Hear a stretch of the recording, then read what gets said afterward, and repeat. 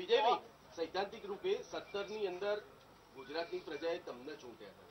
બરોબર? અને તમે ટર્મ પૂરી નથી કરી શક્યા. એટલે કાં તો સીધા તમે ચૂંટણીમાં જવાના છો તમારો ફેસ બદલીને બીજા કોઈ ચીફ મિનિસ્ટર આવવાના મેં કીધું ફેસ તો મોદીનો જ છે. અને મોદીજીના નેતૃત્વમાં ચૂંટણી લડાશે. એ ગૌણ છે બાબત. આ નવા નવા નેતૃત્વ આ ભારતીય જનતા પાર્ટી જ કરી શકે છે.